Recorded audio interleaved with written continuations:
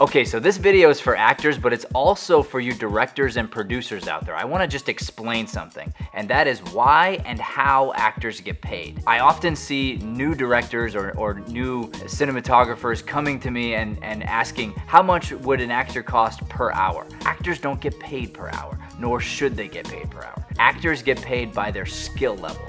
Okay, so compare an actor to a famous artist like Picasso. So somebody walks up to Picasso and they ask Picasso to draw them a painting. Picasso does. It takes him five minutes. He hands them the painting back and says, that will be 100,000 please, thank you. The person says, 100,000? That only took you five minutes. And Picasso says, no, that took me my whole life to get good enough to draw that drawing in five minutes. You're welcome, because when I die, that's gonna be worth a million dollars. Okay, good. So actors are the same way. You, you as an actor get paid by your value, by your efficiency on the set. You have to be really good, really efficient. You have to listen to direction, take that direction, and then be awesome when you're on the set. If you do that, you get to save the production time. So for those producers that are out there, look for great actors, cast great actors because they save you money. The more money you pay a great actor, the more money they're gonna save you on the back end. Think about a huge production, right? A massive production. We went and saw Star Wars, okay? Let's just say you go to a Star Wars movie and you see that whole list of everybody everybody at the very end, it just goes down and down and down and down. All these people that are involved in this production, right?